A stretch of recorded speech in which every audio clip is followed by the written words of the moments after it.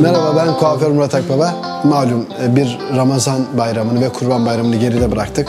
Herkese sağlıklı nice bayramlar geçirmesini diliyorum. Bizler bu süreçte bir çalışma başlattık. Geçtiğimiz Ramazan bayramında ve Kurban bayramında hem meslektaşlarımıza örnek olması niyetiyle hem yanımızda çalışan asistanlarımızın bir an önce kendilerini geliştirmesi amacıyla gelen misafirlerimize de bir jest olması amacıyla ücretsiz tıraş hizmeti verdik. Yanımızda çalışan asistanlarımız Utku Bey ve Kadir Bey bu konuda gerçekten çok azimli kendilerini geliştirdiler. Maalesef sektörümüzde yetişen insan sayısı azalmaya başladı.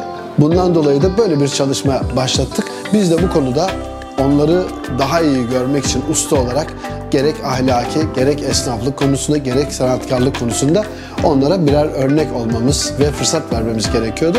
Böyle bir çalışma yaptık. Ümit ediyorum ki başarılı olmaya çalıştık. İnşallah bu kattıklarımızı hayata geçirirlerse çok daha muvaffak olacaklarını düşünüyorum.